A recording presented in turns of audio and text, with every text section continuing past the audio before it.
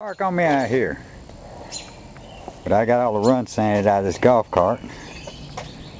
I got a few more spots to buff out on it. I'm letting it dry a little bit more where I'd touch it up. She's looking good.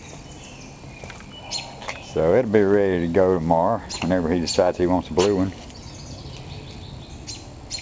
I'll have to give Ross a little bit more training on painting so I don't have to do any sanding runs out. I don't like doing that. So I get these ready tomorrow in the morning so these will be ready to go to Carrollton. Be put on the golf cart. I'm gonna go up to the house. Been working up there today.